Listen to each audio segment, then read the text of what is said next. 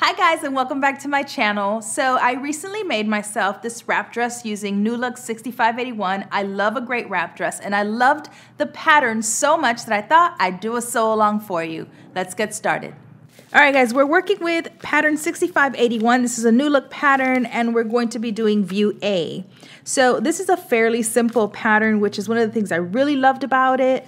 Um, it also fits really nicely and you can make it out of a bunch of different knit fabrics. Obviously the pattern is designed for stretch knits, so you could use a ponte, a jersey, a sweater knit, um, really anything that you want. So I have a, a rib knit that I'm going to be using, which I really love, which is another option.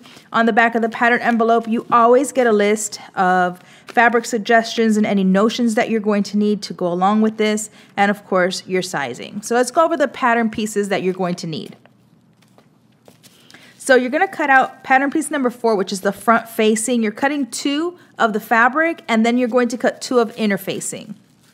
You're going to cut two out of number three, which is our ties. You're going to cut one of the back facing on the fold. You're also going to need to cut this out of interfacing. Then you're going to cut out pattern piece number one, which is the front of our wrap dress. Pattern piece number two, which is the back and pattern piece number six, which is our sleeve. Now, once you have everything cut and you have your facings interfaced, we can start sewing. All right, guys, you're gonna go ahead and grab your front piece. You're going to place it over the back, right sides are facing. We're going to pin at the shoulder.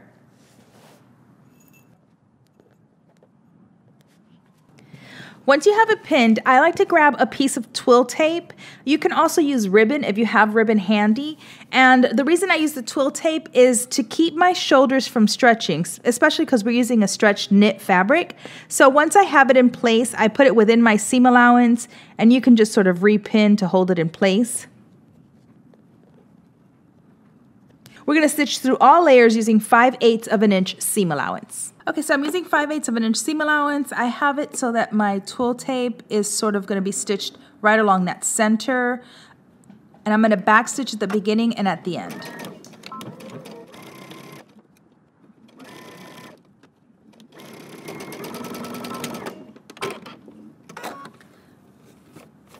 Now, this step is really important, especially when you're working with knit fabric and you want to stabilize your shoulder. So don't skip this step if you have ribbon or twill tape handy. Go ahead and do this to both your shoulders.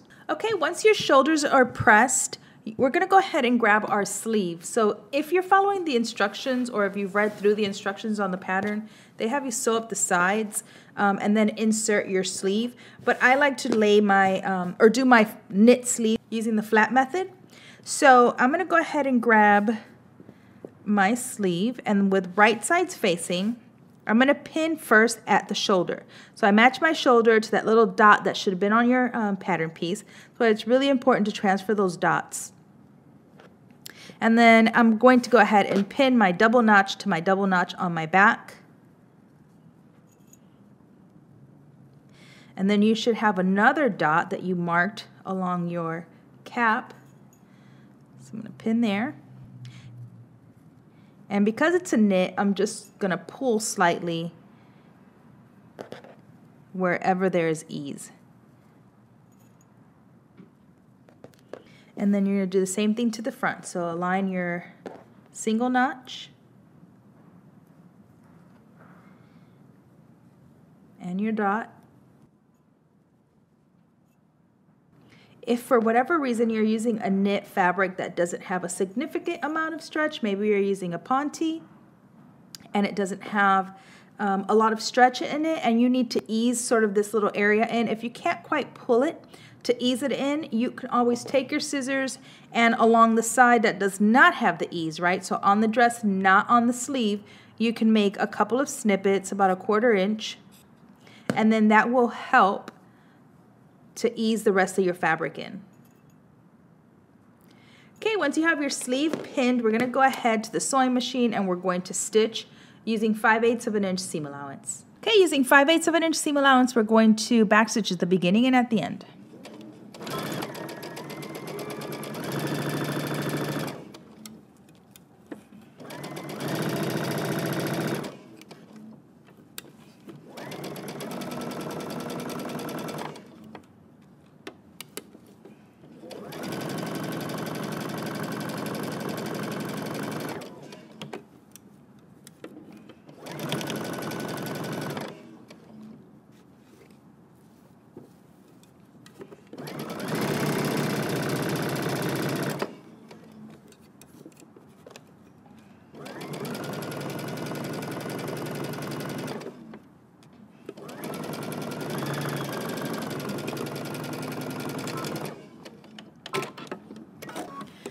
You're going to pin and sew your other sleeve the same way. Once you're done sewing both of your sleeves, you can go ahead and either serge or zigzag your seam allowance. All right, once you have your uh, sleeves sewn in, we're going to go ahead and with right sides facing, lay front to back, fold your sleeve. Now, I want to point out that I have serged my entire side seams separately uh, because we're going to leave a small opening here where your ties, tie goes in through your side. And so I don't want to have to cut and then serge my seams separately or together so that way I sort of just do it before and then I sew my seams together. So I just wanted to point that out in case you noticed. I know it might be hard to see because of the uh, fabric color and thread color. So now what I'm going to do is I'm going to pin my entire side seams. I'm going to start by matching my underarm seam first. And then my sleeve. Now, the opening is on my right side, right? I'm looking at the wrong side of my fabric, so the right side of mine. And I'm going to go ahead and pin above and below that little opening. So you should have had little dots on your pattern. So I'm going to put a pin there and then a pin below it to remind myself where to stop stitching, cut my thread, and then start up again, leaving this as an opening.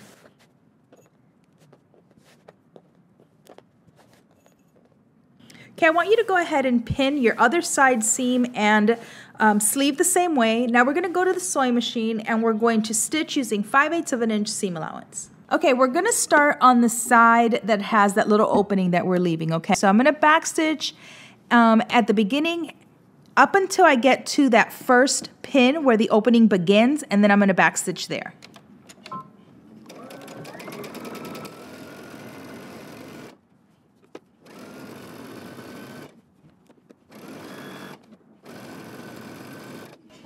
Okay, I'm gonna backstitch and I'm gonna cut my threads.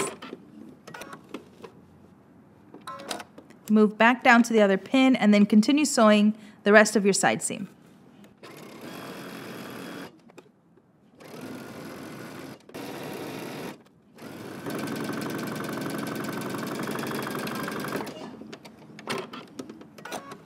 Now your other side seam does not have an opening, so you can just sew the entire side seam in one continuous stitch. Okay, once you have your side seams sewn, go ahead and press your seams open. You'll notice that my garment is now right side out, so my opening is to the left of me. And you'll see when you press your seams open, you get a nice clean opening for your tie to go through. Now we're gonna go ahead and set this aside for just one second. We're gonna sew up our ties. So for this, you're just gonna fold your tie in half lengthwise, right sides facing. I want you to leave one end opened. You're going to stitch using 3 eighths of an inch seam allowance. And then on one end, you're going to go ahead and close out the short end. You're gonna do both of your ties the same way. Okay, go ahead and turn your ties right side out. Give them a press if you need to. Now we're gonna go ahead and stitch them down to our fronts. So obviously you'll notice that the front of your wrap dress has this sort of little corner here. So you're going to place your tie where those two dots were. Hopefully you marked your two dots. If not, go pull out your pattern piece and mark your dots where your ties are going to go. You're going to do them in the same place on both sides of your front. So I'm going to pin there.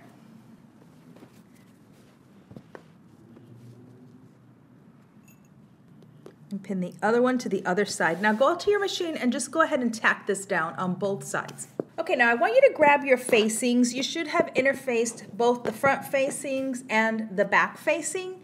Now we're gonna go ahead and match up our facings at the shoulder. I'm gonna pin.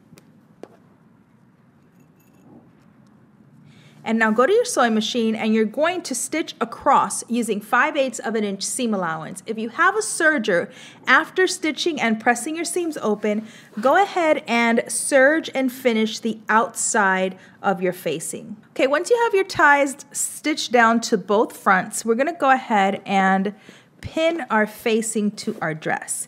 So we have sewn our shoulders together from our facing. We pressed our seams open. And if you had a serger, you went ahead and serged around the edge. Now we're going to place these right sides facing each other.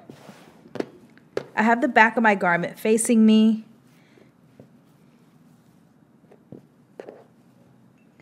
I'm going to pin at my shoulders along my center back. And you're going to go ahead and pin all the way down your front. Make sure that you catch your tie in between the layers.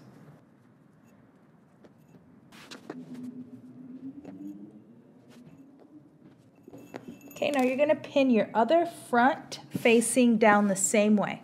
Okay, once you have your entire facing pinned to your dress, we're gonna start at the center back.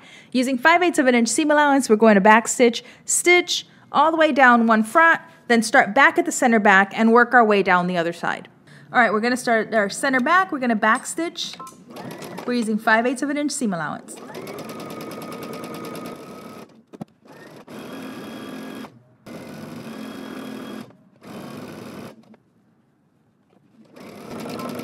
I'm gonna back stitch at that little corner, pivot, back stitch again, and continue sewing all the way down. You're going to sew your other facing on the other side the same way. Okay, once you have your facings sewn down, we're gonna go ahead and understitch. So turn your facing towards your seam allowance and you're going to stitch close to the edge through all thicknesses, only on the side of your facing, okay? Now I'm about 1 16th of an inch from my seam line.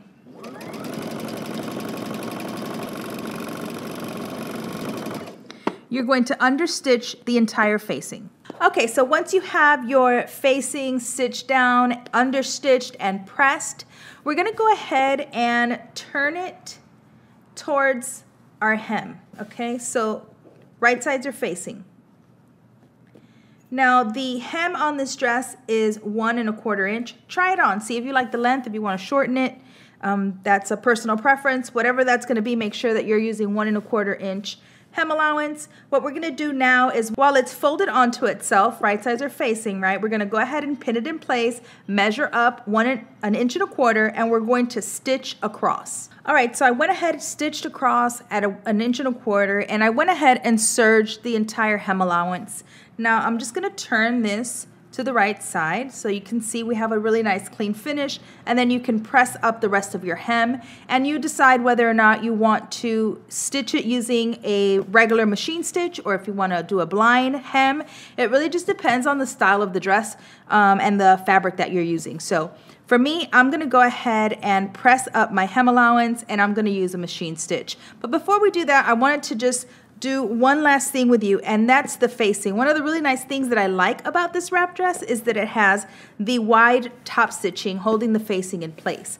So what you're gonna do is with your garment facing up so that you can make sure it's nice and flat, your facing should roll nicely to the inside because we did our understitching. So what I like to do is I'm just gonna pin in place along my facing that way when I top stitch on my right side, I can make sure that everything is laying nice and flat. So go ahead and just pin every couple of inches around your entire facing. Okay, so I went ahead and pinned my facing in place and I'm going to top stitch across my front, back, and then down the other front. All right, so I'm stitching three quarters of an inch from the edge of my, of my dress and I've gone to a 3.5 length stitch. Back stitch at the beginning and at the end.